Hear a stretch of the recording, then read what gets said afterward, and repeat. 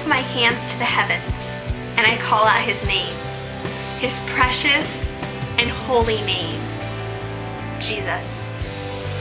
His presence falls in this place, and his aroma is so thick that I can hardly breathe.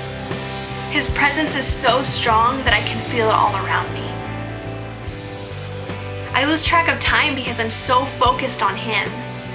I would give up all of my days just for one moment in his presence. We were designed for worship. We were built to sing praises to the King.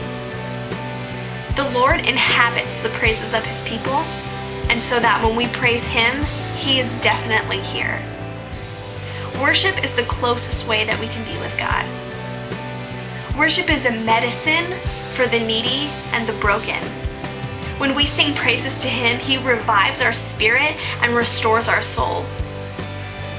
For all that God did for us on the cross, He deserves nothing but our highest praise. He took our weight of sin and took on the death penalty for us. He deserves our everything. Lift a song of praise to Him and thank Him for all He has done for you and all that He has yet to do. The freedom to worship God is not universal. Here in America, we have this freedom.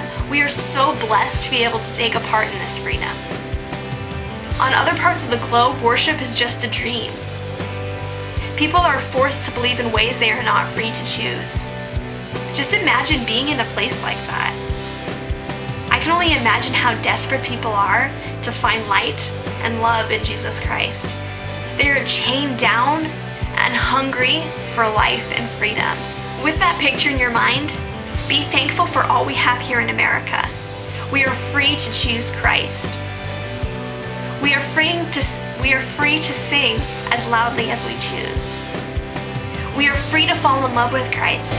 We are free to be beings of worship and praise. If that doesn't make you want to worship with your whole heart, then I'm honestly not sure what will. Christ is here and he is ready for your praise.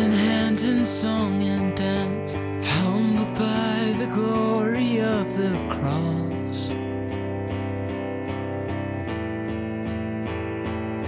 We have been